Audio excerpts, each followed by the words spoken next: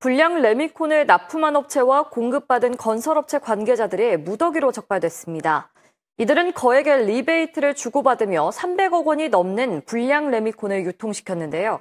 불량 레미콘은 주로 아파트를 짓는 데 사용됐습니다. 이상환 기자가 보도합니다. 시멘트 함량을 줄인 불량 레미콘을 공급받아 적발돼 대표가 1심에서 징역 4년을 선고받은 순천의 한 레미콘 업체입니다. 이 업체가 2013년도부터 최근까지 공급한 불량 레미콘은 2,500개 공사 현장에 300억 원어치가 넘습니다. 품질 검사를 해야 할 건설업체 현장 직원들은 리베이트와 상납을 받으며 불량 레미콘 납품을 묵인한 것으로 드러났습니다.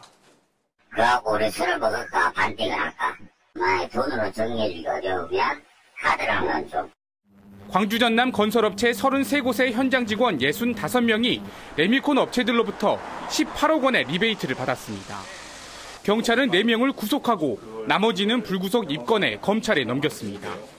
또 불량 레미콘이 관급 공사에 사용되도록 감독을 소홀히 한 공무원 3명도 입건했습니다. 품질 시험에 그 위반돼서 걸리거나 이렇게 납품하지 못하는 상황이 발생하는 경우가 많습니다. 리베이트를 제공함으로써 그 편의 제공을 약속받는 것이죠. 경찰은 불량 레미콘 유통을 뿌리 뽑기 위해 단속을 강화하겠다고 밝혔습니다. KBC 이상환입니다.